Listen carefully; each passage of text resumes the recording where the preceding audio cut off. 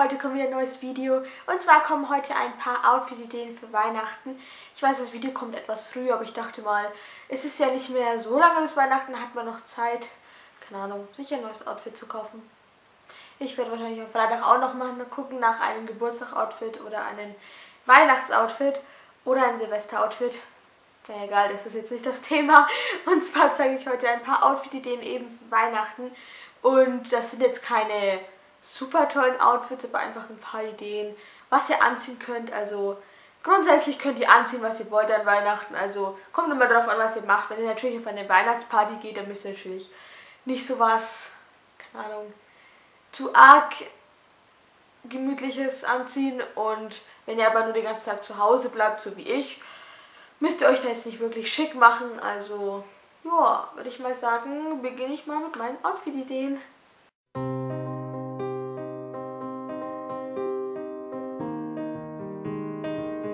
Als erste Idee habe ich vorgeschlagen, einen großen Pulli einfach mit einer auffälligeren Kette, so wie eine große Statement-Kette oder so eine, wie ich hier im Bild dann habe. Das ist einfach schön so, weil der Pulli bequem ist und die Kette dann doch etwas auffälliger ist für Weihnachten. Und ja, dann... Ich zeige nicht bei allen irgendwie die Hose, weil es dann mehr auf das Oberteil ankommt. Deswegen, ja, wundert euch nicht, wenn ich nicht immer die Hose zeige. Aber dazu würde ich jetzt einfach eine normale Jeans tragen. Das hier ist noch eine Möglichkeit für den Pulli und die Statementkette. Und zwar trage ich so einen ähm, geglitzerten Pulli von New Yorker und der ist leider auch von letzten Jahr.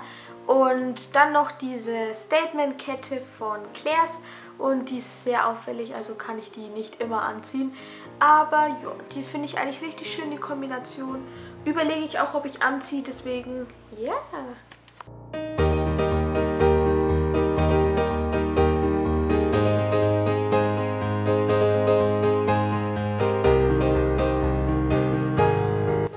Zweiten Outfit trage ich einfach ein schwarzes Top von New Yorker oder H&M, das weiß ich nicht mehr ganz genau.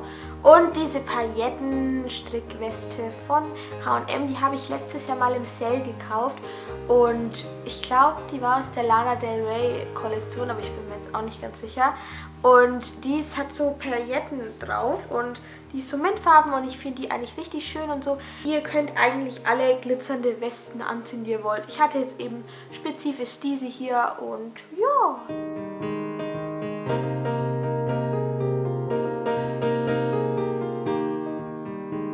Ein weiteres Beispiel sind die weihnachtlichen T-Shirts, die einfach irgendwas auf den T-Shirts draufstehen haben von Weihnachten. Und zwar habe ich hier einmal so ein rotes mit einem geflauschten Schnurrbart und da steht ähm, Merry Christmas and a Happy New Mustache.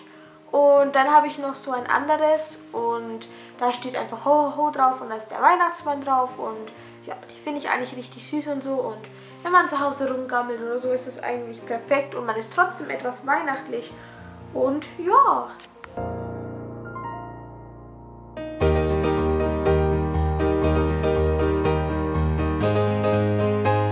Meine letzte Outfit-Idee sind Kleider und Strumpfhosen und Strickjacken oder Pullover drüber. Und zwar mag ich das richtig gerne und mein Kleid hier ist so ein Katzenkleid von H&M. Ihr müsst natürlich kein Katzenkleid anziehen, ihr könnt auch irgendein normales schwarzes anziehen oder was auch immer für ein Kleid das euch gefällt. Und ich habe da jetzt einfach, dass nicht so kalt wird, natürlich eine Strumpfhose und eine Strickjacke drüber angezogen. Ihr könnt aber auch einen Pulli drüber ziehen. Leider habe ich nicht so einen Pulli, der irgendwie gecroppt ist oder so. Also es sieht ganz komisch aus mit meinen Pullis, weil die alle so lang sind. Das würde ich vielleicht zum Abendessen anziehen oder mit Freunden irgendwo hin, auf eine Weihnachtsfeier. Keine Ahnung, was euch einfach so einfällt. Das war's jetzt mit meinem Video. Ich hoffe sehr, es hat euch gefallen und dann sehen wir uns im nächsten wieder. Tschüss!